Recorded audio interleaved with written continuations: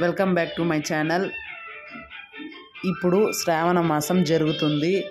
అందుకు వరలక్ష్మి పూజ చేసిన తర్వాత వచ్చిన ముత్తైదులకు తాంబూలం ఎలా ఇవ్వడం అనేది నేను చూపిస్తున్నాను. ముందుగా బ్లౌజ్ పీస్ తీసుకోవాలి. అలాగే తమలపాకు రెండు. తీసుకున్న ఆకులకు చిల్లులు ఉండకూడదు. రెండు ఒక్కలు రెండు మూడు ఒక్కలు పెట్టుకోవాలి. అలాగే ముత్తైదుకు పువ్వు ముఖ్యమైనది ఇవ్వాలి. పసుపు కుంకుమ గాజులు రెండు లేదా నాలుగు లేదా ఒక డజన్ కూడా పెట్టవచ్చండి. అరటి పండ్లు రెండు ఒకటి పెట్టకూడదు. రెండు పెట్టాలి ఏదైనా.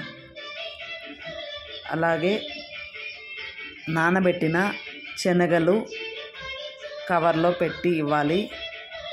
చిందరవందరగా అవుతుంది కాబట్టి కవర్లో పెట్టి ఇవ్వాలి.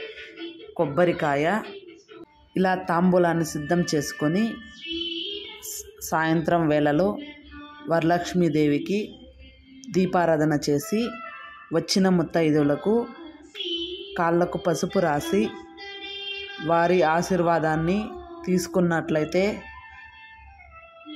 పూజా ఫలితం మీ అందరికీ లభిస్తుంది.